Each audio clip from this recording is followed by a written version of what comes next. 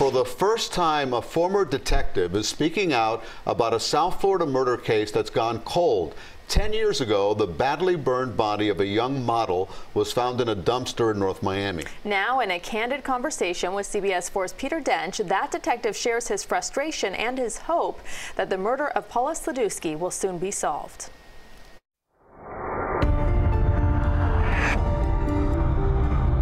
It's frustrating. I mean, you know, it's, it's the one case that kind of stands out in, in my career.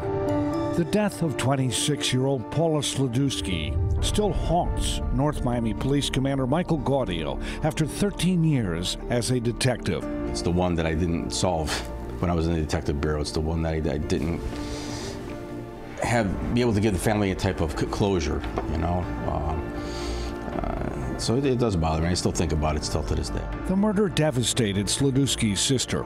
My sister was 26 years old. She was full of life. She was beautiful. She cared about everybody.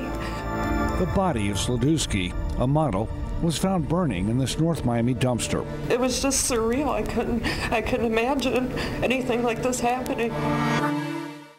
Sladewski came to Miami with her boyfriend Kevin Klim for the New Year's weekend in 2010 for a Lady Gaga concert and to be on South Beach.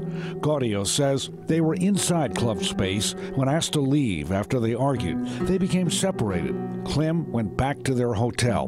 This black and white surveillance tape shows Sladewski leaving club space with a man behind her. It shows another gentleman following her out of the nightclub.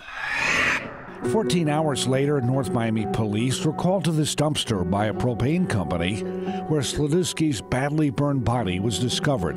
She was identified through dental records. We were shocked that it was you know, near that close to us here at the shop. And so far away from club space, 120 blocks north on a dead-end street in an industrial area at Northeast 14th Avenue and 130th Street.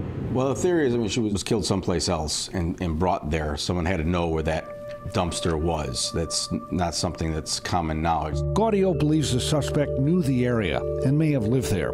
Police released this sketch after a witness said he saw this man leaving a parking lot near Club Space with Sladewski heavy set black male or Hispanic male with a goatee. And police are still looking for the man seen in the sketch.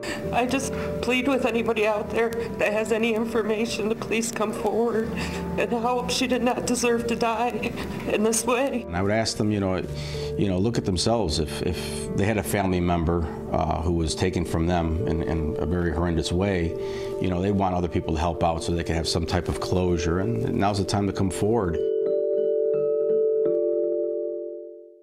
Gaudio tells us Paula Sladewski's boyfriend is not a person of interest. He says there were no sightings of Sladewski after she left club space. If you can help police with this case, call Miami-Dade Crime Stoppers at 305-471-TIPS. There's a reward of up to $3,000. In North Miami, Peter D'Oench, CBS 4 News Tonight.